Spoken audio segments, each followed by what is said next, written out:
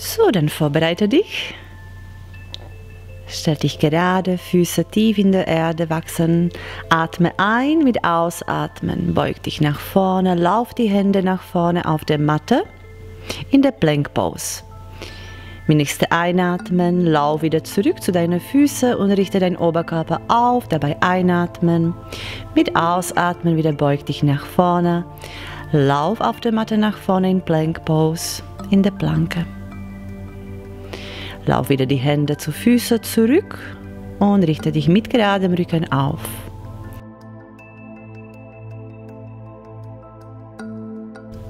Ausatmen, Plank Pose, Bauchdecke anziehen, Schulter zurück, Ferse nach hinten pressen. Und dann beginne in Wechsel. Mal rechte, mal rechte, linke Knie nach vorne Richtung Schulter oder Knie zur Brust ziehen. Immer dabei ausatmen, einatmen. Atme aus, atme ein. Aus, ein. Aus, ein. Atme aus, atme ein. Achte darauf, dass die Arme nicht durchgestreckt sind in die Ellbogen. Genau. Halte noch. Dann halten. Mit nächster Ausatmen tief.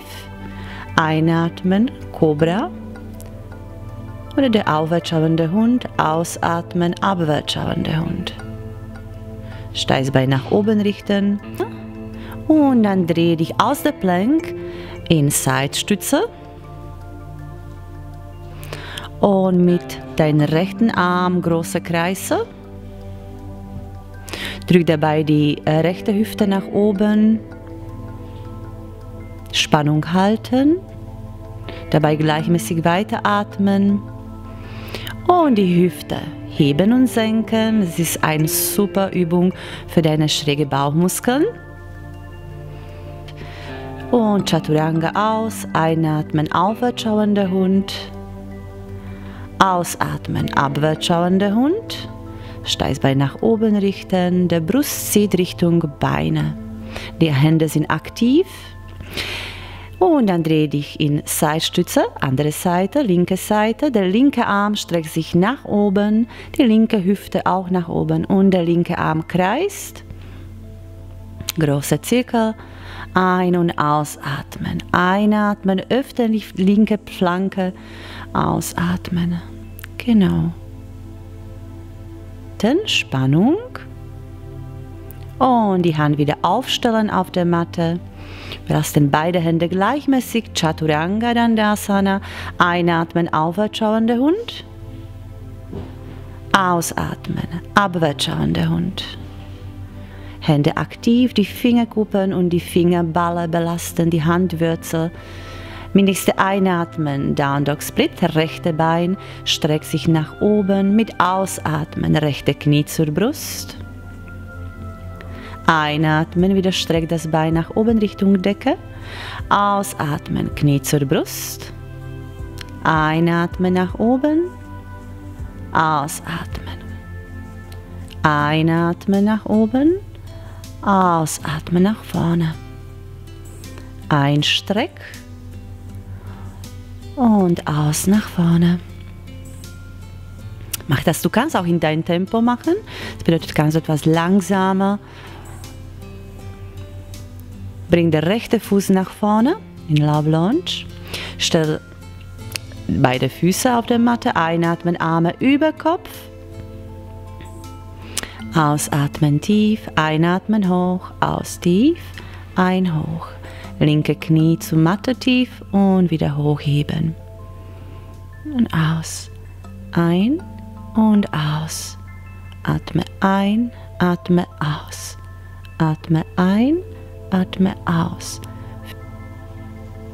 Spannung halten und das linke Bein durchstrecken. Press die Ferse, linke Ferse zurück und rechtes Schienbein verlängern nach vorne. Öffne deinen Brustkorb, lass dein Herz strahlen.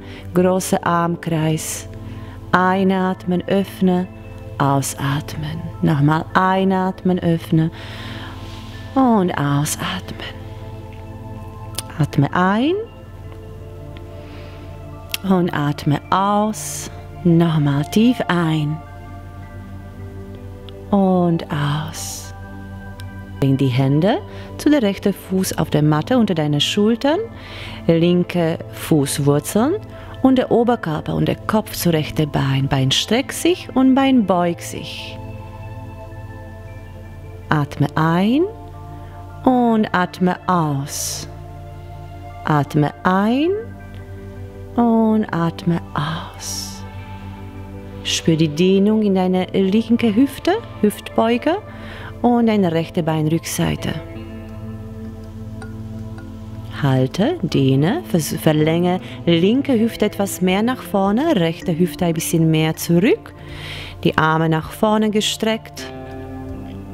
Der Kopf, wenn möglich, ruhe die Stirn auf Bein, auf dem rechten Bein.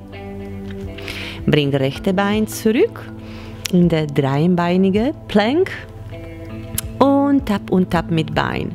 Mal zur rechten Seite und über das linke Bein zur linken Seite. Und wie du siehst, äh, der Blick folgt, das Beinbewegung.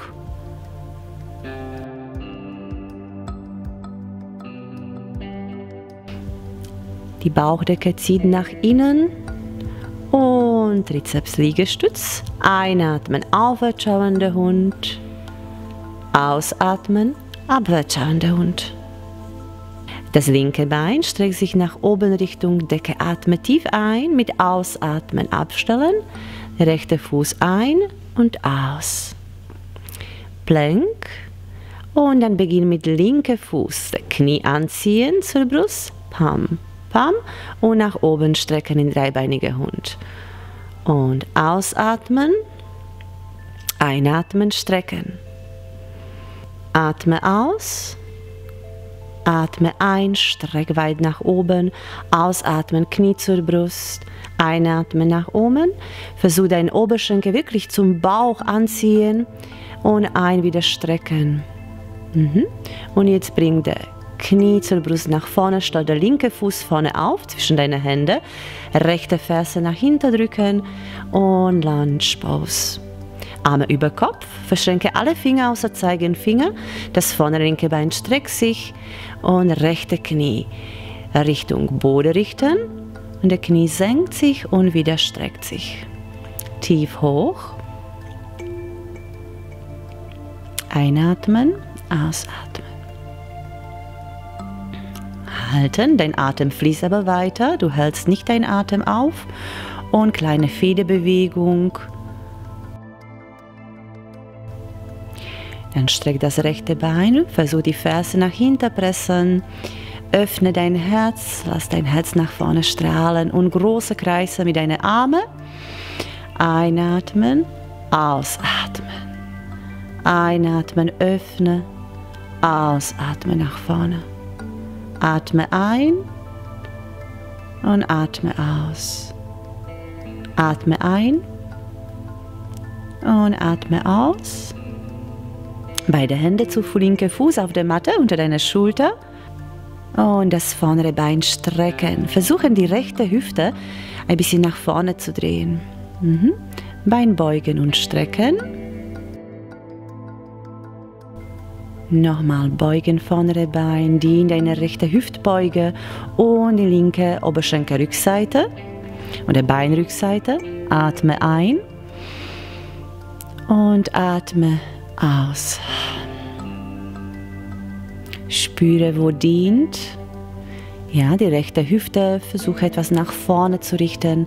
Rechte Hüfte verlängert nach vorne, linke Hüfte verlängert nach hinten. Die Arme sind weit nach vorne gestreckt und du spürst sanfte Dehnung in deinen Rücken, in deine Schultern. Dann das linke Bein beugen Presse deine rechte Ferse zurück, strecke die Arme nochmal über Kopf in Lunge Pose. Atme ein, mit Ausatmen senk die Arme über die Seite tief, stell die Hände auf der Matte. Atme ein, nochmal strecken, Hüfte öffnen. Und mit Ausatmen bring das linke Bein zurück in dreibeinige Lunge, in Plank. Und das Bein tippt nach links und über das rechte Bein nach rechts. Nach links und nach rechts nach links, nach rechts. Achte darauf, dass du im ganzen Körper stabil stehst. Mhm, mit Ausatmen. Chaturanga Dandasana. Einatmen, aufwärts schauender Hund. Ausatmen. Abwärts schauender Hund. Adha Mukha Svanasana. Die Ferse tief zur Matte pressen. Der Brust zieht leicht Richtung Beine.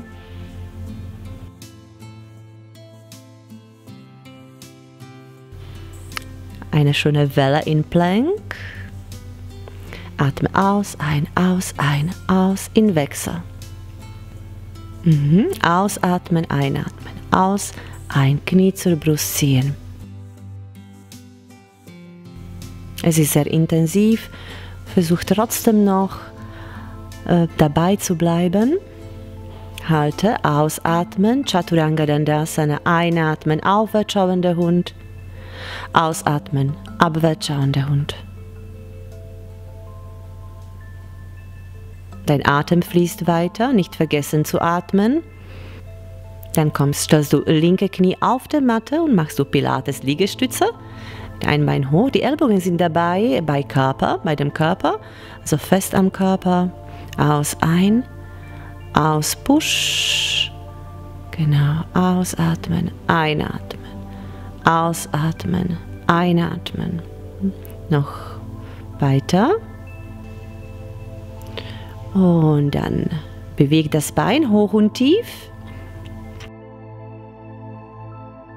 Diese Übung kennt jede aus der Bauchbeine-Po-Stunde. Es ist auch ein Mix zwischen Bodyworkout und Yoga. Spannung halten, rechte Hüfte Richtung Boden gedreht, streck der linke Arm und das rechte Bein, also sogenannte diagonale Katze. Schön lang ziehen und akkumuliere die Energie in deine Körpermitte. Ja, zentriere die Energie und die Kraft in deine Körpermitte, in deinen Bauch. Halte dich da stabil, stell die Knie und Armhand, atme ein und ausatmen. Hände zu deinem Rücken. Einatmen, Kamelpose. Versuch dabei wirklich den Po anzuspannen und die Hüfte nach vorne pressen, so weit wie möglich. Mula Bandha. Richtest du dich auf. Mit nächster Einatmen Arme über Kopf, zieh dich lang, lang, lang in der Länge und mit Ausatmen senk die Hände auf der Matte und streck dich in der Child Pose der Position des Kindes. Hier kannst du ein bisschen entspannen, erholen. Ein paar tiefe Atemzüge holen. Und dann komm wieder in der Vierfüßlerstand. Drück dich nach oben in herabschauender Hund. Adho Mukha Svanasana. Welle in der Plank Pose. Chaturanga Dandasana, aufwärts schauender Hund, Udva Mukha Svanasana, abwärts schauender Hund, Adha Mukha. Und dein Brust zieht wieder Richtung Beine, deine Hände aktiv. Stell rechte Knie auf der Matte, streck das linke Bein weit nach hinten und Pilates Liegestütze. Dabei bleiben die Ellbogen am Körper. Beug und streck. Beug und streck. Ein und aus. Atme ein, atme aus. Und das Bein bewegt sich hoch und tief. Diese Bewegung ist eher so dynamischere Charakter. Also keine langsame Bewegung, wie du sonst von Yoga komm, kennst. Dann diagonale Katze, rechte Arm verlängert nach vorne und das linke Bein nach hinten Ziehst dich lang in der Diagonale. Vergesse nicht zu atmen, dein Atem fließt. Einatmen, Arme über den Kopf nach oben strecken. Mit Ausatmen Hände wieder zu den unteren Rücken, da ablegen, Po anspannen und das Becken weit nach vorne pressen. Dabei folgt eine Rückwärtsbeuge, eine sehr intensive Rückwärtsbeuge. Kamelstellung. Dann die Hände wieder zu deinem Rücken, Arme über Kopf. Und mit Ausatmen Hände weit nach vorne auf der Matte, Arme gestreckt, die Stirn auf der Matte ablegen, Child Position. Abwärts schauender Hund, atme aus, wurzel deine Füße, deine Hände auch. Spür der höchste Punkt des Körpers, das Steißbein. Eine Welle nach vorne in der Plank Pose. Eine kraftvolle Position. Die Füße ein bisschen breiter aufstellen. Und dann touch. Rechte Hand, linke Schulter, linke Hand, rechte Schulter. Was wichtig bei dieser Übung ist, dass du wirklich stabil in der Körpermitte bleibst, dass der Körper nicht zu arg sich verdreht bei Touchen. Ja, du versuchst immer mit beiden Hüfte einfach parallel zu der Matte zu bleiben. Stell die Knie auf der Matte tief, streck die wieder hoch und dann laufst du die Füße, so als würdest du in vier Füßler kommen wollen, aber die Knie nicht aufstellen, sondern wieder zurücklaufen. Aus der Plank nach vorne und wieder zurück und schön wechseln.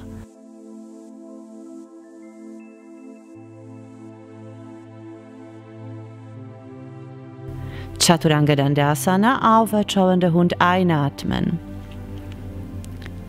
Abwärts schauender Hund ausatmen.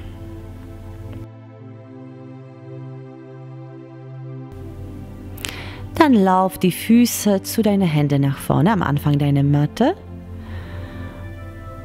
Und das Bein beugen und strecken.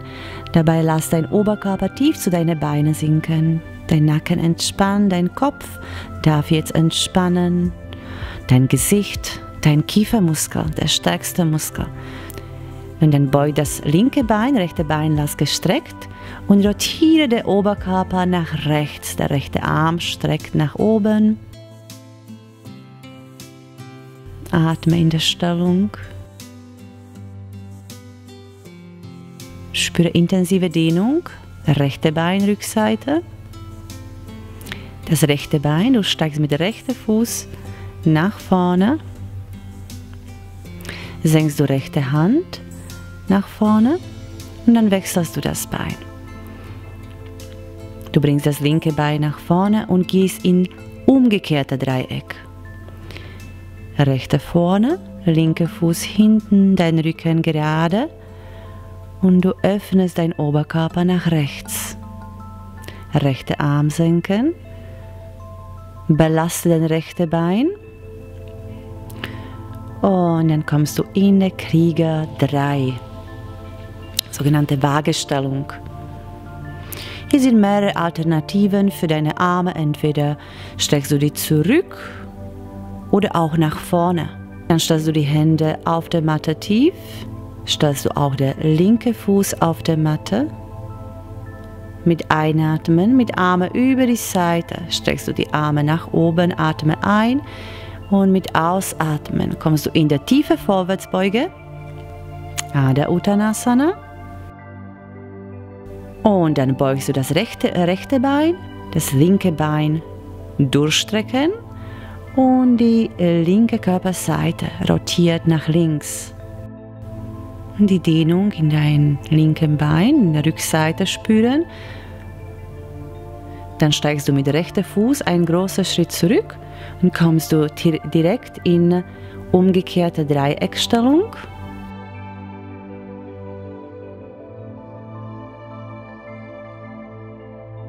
Schön tief atmen, den Atem vertiefen.